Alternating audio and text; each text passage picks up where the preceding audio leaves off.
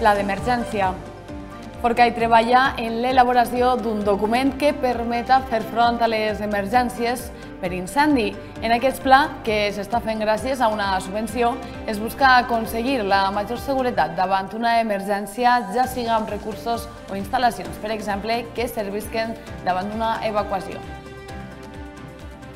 Adjudicació. L'Ajuntament de Portell licita les obres de la futura oficina de turisme a una empresa de la comarca dels Ports. El projecte, que també preveu un espai coworking i una sala de reunions, ascendeix a més de 183.000 euros i està finançat totalment per la Generalitat Valenciana. Afeccions del tumicus. L'Ajuntament de Morella tala els pins morts de l'Alameda i zones pròximes al poble afectades per la plaga del tomicus. Aquesta plaga no només afecta Morella, és per això que la Mancomunitat dels Ports ha aprovat una moció al ple de la Mancomunitat en la que demana a la Generalitat una ajuda per a fer front a la plaga. Agenda del cap de setmana la commemoració dels 300 anys de l'Orgue de Turull a Morella, els 25 anys del tancament de l'FP a Vilafranca, les jornades de patrimoni europeu o el mes de l'avellana a Benassal són algunes de les propostes del cap de setmana. En uns minuts repassem tota la programació. Amb aquestes i altres notícies repassem l'actualitat dels ports. És divendres 4 d'octubre. Comencem.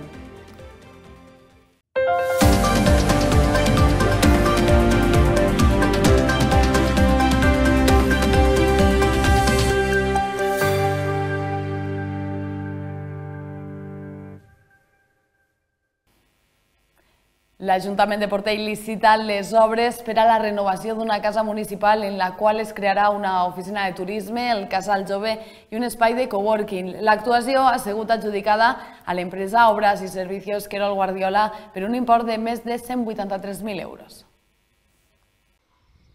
Les obres per a l'edifici adquirit per l'Ajuntament de Portell i en el que s'ubicarà la nova oficina de turisme, el coworking i la sala de reunions ja estan adjudicades. Ha sigut un procediment que ha tardat a prou més del previst, ja que han calgut fer dues licitacions al no presentar-se cap empresa a la primera d'elles. Això ha provocat que tot es retardara, si bé ara ja es compta amb l'empresa encarregada de transformar aquesta casa en uns espais que necessita el municipi de Portell. La primera licitació va quedar deserta, va, que, va tindre que refer-se el projecte i van tindre que tornar a començar de nou la licitació perquè se presentara una empresa i pogués eh, tindre aquesta obra adjudicada. El problema que tenim molts pobles, no? el tema de que moltes obres mos queden desertes, no sabem per què, com ni de quina manera, i serà a lo millor un problema este, que parlàvem de les obres desertes que tindrem que començar a plantejar-nos ja del per què del per què les empreses menudetes dels pobles cada dia van desapareixent, el tema dels papeleos, tota la burocràcia, tantes i tantes coses que tindrem que començar a mirar com i de quina manera podem anar facilitant. I en el que se refereix a aquesta obra, pues, ens va quedar el, el plec desert, la licitació deserta, se va tindre que tornar a licitar i van tindre la sort de que van haver una empresa que ha agarrat la, l'obra esta i ara ja solo falta és començar a treballar-la i fer així el saló de turisme, el coworking i la sala de reunions de jovens, acabar de fer així tot el complejo este i aprofitar que se amague Cavadís, que se doni l'entrada així més eh, fàcil pel carrer de Baix, que després també hi haurà una actuació en el, el carrer de Baix, que també serà una mica condicionat tot el que és esta zona del poble. Serà una empresa de la comarca dels Ports l'encarregada de fer aquests treballs en una obra que compta un important pressupost a finançar totalment per la Generalitat Valenciana mitjançant el seu pla de reforma, rehabilitació i actuacions urbanes. I pensaven que era la ubicació ideal per això així. L'empresa adjudicatària que fa aquesta obra serà Querol Guardiola, una empresa de la comarca, i després el pressupost són 184.000 euros per aquesta quantitat i tot esta eh, obra ve financiat dins del Pla Conviure que va treure la Generalitat, que en el que vam ser agraciats el municipi, al igual que d'altres obres que hi ha fetes per així.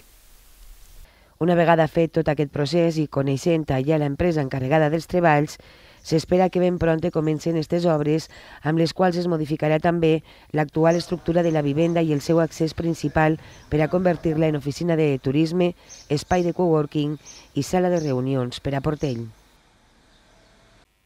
L'Ajuntament de Forcall ha rebut una ajuda per a la redacció del Pla d'Emergència, una eina que permetrà fer front a les emergències per incendi, establint procediments d'actuació, examinar el risc i vulnerabilitat de la zona, així com analitzar les instal·lacions que podrien servir en cas d'haver de fer una evacuació. Des de l'Ajuntament estem redactant el pla d'emergències, que té que veure també molt en el pla d'incendis, sobretot en la part que, que, que seria més relacionada en una emergència per cas d'incendis. I bueno, al final és identificar pues, tots, tot allò que tenim per actuar en cas d'emergència, totes aquelles instal·lacions que podríem fer eh, podríem utilitzar en cas de que pogueren haure algun, algun problema eh, de que tingueren que evacuar gent a algun punt o el que fos, o d'algun poble veí que pogueren vindre a Forcall també quines instal·lacions tenim, etc. o d'on podrien agafar aigua, eh, eh, per exemple, els bombers en cas de vindre, per a tindre identificat tots aquests eh, punts i demés. Per això hem aconseguit una ajuda que el que ve a fer l'ajuda és cobrir la redacció d'aquest pla d'emergències, de, en el qual pues, bueno, és algo prou útil i prou important que, que després pues, intentarem també donar a conèixer a la gent quan estigui acabat de, de redactar perquè així la gent pues, sàpiga en quins recursos compta el poble i a on acudir en cas de que hi hagi alguna emergència. I continuem a Forcall perquè el passat cap de setmana es va averiar la bomba de subministrament general pel que va obligar al municipi a agafar aigua de Sorita ja que no arribava tanta aigua com la que es consumeix.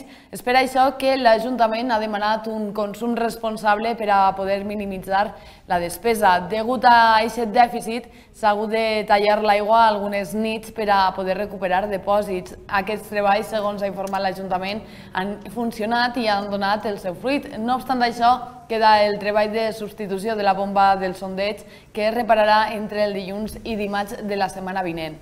Per tant, des del consistori es continua demanant un ús responsable. I l'Ajuntament de Morella ha hagut de talar alguns pins morts en la zona de l'Alameda a causa d'una plaga. El passat mes d'agost el taller d'ocupació va començar a retirar els pins morts a causa de la sequera. En aquest moment es va descobrir una plaga que afecta el pirroig. Les primeres observacions apunten que la plaga es tracta del tomicus minor.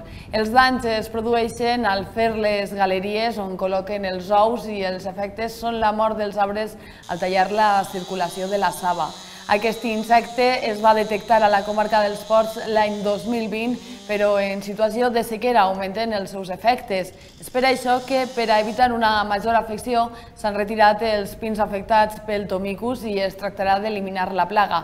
Aquest problema no només afecta Morella, és per això que des de la Mancomunitat dels Ports s'ha aprovat una moció al ple en la que demana a la Generalitat una ajuda per a fer front a aquesta plaga. El PSPB urgeix a la Diputació a publicar les ajudes del sexeni de manera immediata i exigeix celeritat en la resolució i pagament de les mateixes. El diputat provincial Ramsès Ripollès critica la manca de previsió de Marta Barratxina i denuncia que els gremis i carrers estan patint les conseqüències de l'endarreriment en la publicació de les ajudes del sexeni veiem com la Diputació pues, bueno, no està complint el que, el que estava dient, no? que en el mes de setembre se publicarien, ja va anunciar en el seu moment que a més se pagarien molt tard, que ben entrat el 2025 eh, no se pagarien i per tant el que li hem sol·licitat des del grup socialista és de que se publiquen d'una vegada per totes eh, perquè bueno, veiem com van haver molta pressa en anunciar-les però n'han hagut ben poca en, en publicar-se, a més tenint en compte, tots coneixem el, el sexeni i la, la idiosincràsia de, de les associacions no? que se formen sobretot en el tema dels carrers i una vegada acabe pues, el que volen totes les entitats pues, és tancar quan antes tota l'activitat la, i també tindre clar pues, en quins recursos finalment eh, compten. No? Reiterem, que ja ho vam dir en el seu moment, pues, una major celeritat a l'hora de, de lo que serà la tramitació del pagament. No? Eh, crec que les dates que van que van donar eh, s'haurien d'acurtar més i quan la, la Diputació, si algú té bo, eh, per a tant les associacions com les administracions normalment és la l'agilitat en, en, esta, en esta qüestió, o per lo menys d'això volen presumir, no? per tant pues, que ho demostren i, i siguen siguin coherents en el que estan dient i La Basílica Arxiprestal de Morella ha acollit aquest dijous al vespre el primer dels actes previstos en la commemoració dels 300 anys de l'Orgue Turull. L'organista de la Catedral de València, Pablo Márquez, oferia l'espectacle música al voltant de la construcció de l'òrgan de Turull.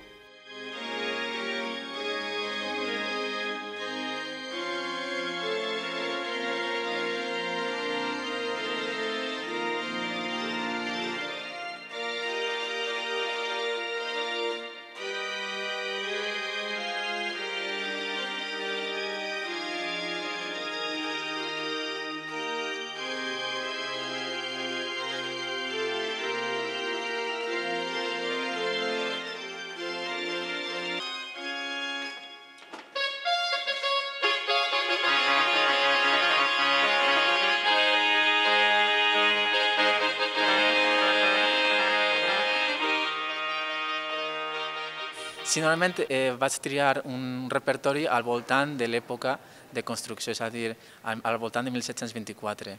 Com no vaig començar per obres de Joan Cabanís, que va ser organista de la Catedral de València, de John Bing, i, i que és una música molt, molt forta, o sigui, té molt de caràcter, és molt virtuosística, etc. Solament cal dir que, que Cabanilles va compondre més peces que tots els compositors del barroc espanyol eh, junts. O sigui, que té més de mil peces i és un compositor molt important. I després vaig, viatjàrem a, Alemanya del Nord i vaig fer un programa més enfocat en aquest repertori per també demostrar que aquest instrument, encara que siga eh, valencià, també obrís les portes a altres estils i se pot tocar altres estils. I vaig tocar des de Buxtehude, Bach, Ranken, etc. I vaig acabar també a una altra peça d'un organista de la Catedral de València, que li diu Manuel Narro, i és una batalla que fa també honor a, a les trompetes horitzontals que tenim així. Estem d'enhorabona perquè l'orgue este data de 1724 i fa 300 anys de la seva recepció, és a dir, des que se va firmar l'acte en el que es deia que s'havia eh, construït d'acord a les regles d'art de la construcció d'orgues. Amb aquest motiu s'ha fet un, un festival en el que n'hi haurà tres concerts, una conferència i diverses activitats al voltant d'aquest instrument per a donar-lo a conèixer. Arquitectura i Arqueologia. Aquest és el títol de la nova exposició que es podrà visitar a partir d'aquest diumenge a l'estudi de Virtuac. L'exposició emmarcada en les Jornades del Patrimoni Europeu també commemora la setmana dedicada a l'arquitectura a la comarca dels Ports. En el marc de les Jornades Europees de Patrimoni del Territori Sènia, este cap de setmana s'han organitzat diverses activitats. A Morella, el dissabte s'ha programat una visita a l'edifici visigòtic del Casal de la Masia Sabater, a la cantera del Mas de la Parreta, un poblat que s'ha datat en el segle VII i que compta en un edifici central que es creu que podria tindre fins i tot 12 metres d'alçada. Hi ha una altra part de l'assentament d'origen andalusí. El jaciment es troba en molt bon estat de conservació i es tracta d'un dels jaciments més destacats d'aquest temps de tot l'arc mediterrani. D'altra banda, el diumenge, l'Estudi d'Arquitectura Virtual que Estudi ha organitzat una jornada al voltant de l'arquitectura i l'arqueologia, fixant-se especialment en diverses actuacions en el patrimoni arquitectònic de la província de Castelló que s'han fet des de Virtual que Estudi. Després de la xerrada, que celebrarà a les 12 en el Saló d'Actes de l'Ajuntament, s'inaugurarà l'exposició instal·lada en les dependències de Virtual que Estudi. Com ja sabeu, al nostre estudi aprofitem perquè una part molt important de la difusió i la posada en valor del patrimoni no és només la restauració i la seva posada en ús, que és fonamental, però també la difusió i el coneixement. No? Entonces, moltes vegades nosaltres eh, ja sabeu que aprofitem un poc per a tindre a l'estudi exposicions, en aquest cas tenim la de la Porta dels Apòstols i les Verges, que, que l'hem organitzat un poquet nosaltres, però la que, la que ve ara, la que acollim ara, ha sigut una iniciativa des del Col·legi d'Arquitectes de Castelló, dins de la Setmana de l'Arquitectura que organitzen en el Col·legi d'Arquitectes de València també, i acollim una exposició sobre arquitectura i arqueologia, que és molt interessant perquè per a temes de patrimoni solem treballar en equips multidisciplinars conjuntament en arqueòlegs. No? I, i és un recull de, de diferents projectes de la província de Castelló en equips multidisciplinars d'arqueòlegs i arquitectes que segurament vindran també aquest diumenge i la tindrem segurament un mes eh, a l'estudi per a que pugueu visitar-la també. Eh, nosaltres ja sabeu que tenim sempre la porta oberta per a que vingueu, així que benvinguts. Una de les activitats més especials d'aquestes jornades cada edició és la festa del Tossal i enguany encara un poquet més, ja que el motiu de les mateixes són els punts d'encontre. Esta celebració s'ajunten els territoris d'Aragó, Catalunya i la Comunitat Valenciana es celebrarà el diumenge amb la participació activa dels ajuntaments i veïns de la Pobla de Benifassà, Vall de Roures i la Sènia. Aquesta és una de les propostes del cap de setmana, però no l'única. Les jornades de patrimoni europeu passen per altres pobles de la comarca. A més, a Benassal enceten el seu mes dedicat a l'avellana. La nostra companya Àngela Beltrán ens dona més detalls. Hola, Àngela. Hola Alba, efectivament Morella commemora els 300 anys de l'Orgue amb diferents activitats. Avui a les 5 tenim un concert a l'Ajuntament amb Pablo Márquez i a les 8 i mitja a l'Església Arciprestal, un altre a Mazzuco Taragano. El dissabte, dintre de les Jornades Europees de Patrimoni, a les 11 es visitarà l'edifici visigòtic dels Casals al Mas de Sabater i a les 5 de la tarda a les sales gòtiques de l'Ajuntament tindrem una xerrada sobre l'aniversari de Turull. Diumenge a les 12 del matí tindrà lloc la concentració Un any de genocidi al davant de l'Ajuntament. A la mateixa hora s'inaugurarà l'exposició Arquitectura i Arqueologia a l'Ajuntament i a les 12 i mitja a l'Arciprestal el concert 3.645 tubs, orgue de Turull de Morella, amb l'organista Ignasi Jordà. Vilafranca dissabte també es concentrarà amb motiu d'un any del genocidi a Palestina. Serà a les 12 a l'estàtua de la dona treballadora a l'Avinguda del Llosà. A més, per commemorar els 25 anys del tancament de la FP, durant el matí hi haurà parlaments a la sala Carles Pons. També s'inaugurarà l'exposició Estudies o vas a la FP a les sales gòtiques i per acabar hi haurà dinar al parador de festes amb discomòbil per a l'alumnat i el professorat del centre d'FP. Un altre dels actes destacats del cap de setmana és la festa del Tossal del Rei. A les 11 i mitja del matí al Tossal del Rei es farà el saludo de les autoritats amb la presència de la gent de la Pobla de Benifassà, la Sènia i Vall de Roures. I a les 2 serà el dinar a la colònia europea. Recordem també que este cap de setmana tornen les visites guiades del pla de posada en valor de la rupestre a la Covatina de Vilafranca, l'abric del Mas de Barberà de Forcall, l'abric del Mas de la Rambla de Portell i el cingle de Palanques. Per més informació es pot consultar als ajuntaments o oficines dels pobles corresponents o bé al mateix Museu de la Valltorta. I tanquem l'agenda del cap de setmana amb Benassal, que eh, acull els primers actes enmarcats en el mes dedicat a l'avellana. Així dissabte a les 9 del matí ens conviden a una ruta guiada de la Pedra en Sec amb Gabriel Barreda, amb eixida des de la plaça dels Xorros de la Font d'en Segures. A les 12 s'inaugura l'exposició Avellana Fruit de Tardor a l'oficina de turisme i diumenge a les 11 tenim la ruta de l'Avellana i a les 11 de 11 a 1 tenim l'obertura del Museu de la Vida Rural de l'Avellana. I això és tot, que passen un bon cap de setmana. I com cada divendres, un nou número del setmanari Comarcal Notícies deixa al carrer destacant en portada les últimes novetats de l'empresa Marie Claire, la signatura del conveni entre l'Ajuntament de Portell i l'empresa que gestionarà el clúster del Maestrazgo i l'inici de les obres a la Nacional 232. En el seu interior tenim l'entrevista amb el vilafranquí José Luis Lorenz, diputat del Partit Socialista a les Corts Valencianes. A més del recull d'informació de tota la setmana, els apunts històrics, la fulla del camp i la predicció meteorològica de Lorenzo Boix completen la informació. Temps ara per l'esport i com cada divendres repassem amb el nostre company Víctor Tena les competicions que tenim per aquest cap de setmana d'octubre. Hola Víctor. Hola, entrem en el temps de l'esport, anem a repassar l'agenda esportiva d'aquest cap de setmana en el qual tenim futbol, futbol base i també frontenis. En futbol regional, a la segona Federació Futbol Comunitat Valenciana, Eturea Morella Futbol Club, el dissabte a les 18 hores al camp Batiste Sales de Sant Jordi. A la tercera Federació Futbol Comunitat Valenciana, Club Esportiu Xert, Club de Futbol Vilafranca, el diumenge a les 17 hores al camp de les Forques de Xert. I Club Esportiu Cintorrà, Càlits Club de Futbol, el diumenge a les 18.30 hores al camp del Pla de Mitjull de Cintorres.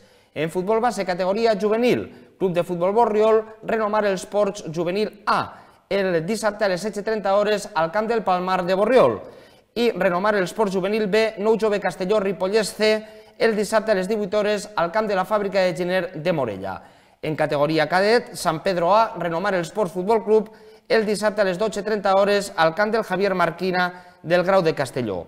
I en frontenis, a la primera divisió provincial, Torreblanca B, Vilafranca el dissabte a les 16.30 hores al frontó de Torreblanca, mentre que en la jornada del dissabte se recupere, del diumenge vull dir, se recupere un partit pendent. Vilafranca, Castelló C, el diumenge a les 10.30 hores al frontó de Vilafranca. Aquesta és la programació que tenim en matèria esportiva aquest cap de setmana. Pel que fa a la previsió meteorològica, dia marcat pel descens tèrmic i el vent. Així tot s'espera un dia assolellat, una dinàmica que es mantindrà durant el cap de setmana on s'esperen temperatures encara fresques per dissabte al matí. Més detalls a l'espai del temps, nosaltres ho deixem així per avui, però ja saben que a Nord la informació no descansa. Si volen seguir pendents del que és notícia, poden fer-ho a través del Sport del 89.0 o el portal web Comarques Nord. Gràcies un dia més per confiar en nosaltres, salut, sort i que tinguin un bon cap de setmana.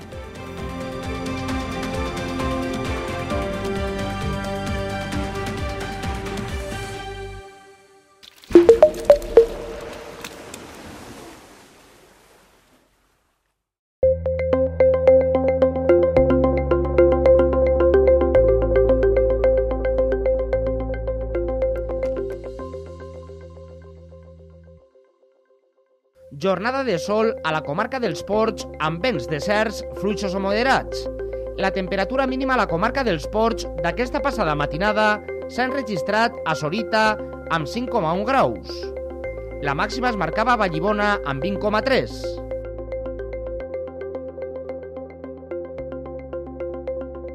Precipitacions de 5,3 litres per metre quadrat a Herbers, 4,8 litres a Olocau o 4,2 a la Mata i Morella com a reculls més destacats en la jornada d'ahir. Per dissabte s'anuncia un dia assolellat i amb pujada de les temperatures màximes que podran superar els 20 graus a quasi tota la comarca.